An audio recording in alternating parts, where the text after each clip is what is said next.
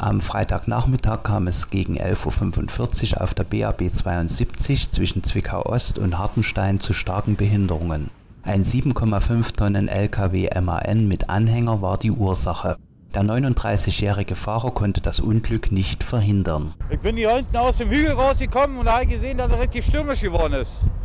Ja, da habe ich schon langsam abgebremst. So. Und dann hat sich der Anhänger ungefähr 50 Meter hier von der Unfallstelle an hat er sich angehoben und hat einen kompletten LKW rumgedrückt. Da siehst du ja, bin ich ja hier gegen die Leitplanke gefahren und dann hat der Wind mich, der Wind, rübergedrückt mit einem kompletten LKW.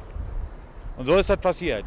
Der leere Anhänger war etwa zwei Kilometer nach der Anschlussstelle Zwickau Ost umgekippt, nachdem er von einer Windböe erfasst worden war. Er kam auf der linken Fahrspur und der Mittelleitplanke zum Liegen. Der LKW stellte sich auf der rechten Fahrspur und der Standspur quer. Personen wurden zwar nicht verletzt, doch der Schreck saß dem Fahrer noch immer im Nacken. Ich fahre ja nun schon lange genug, ne, über 20 Jahre jetzt und also ich hab da, sowas habe ich aber noch nicht erlebt, sagt er, so wie das ist. Der entstandene Sachschaden beträgt ca. 9500 Euro.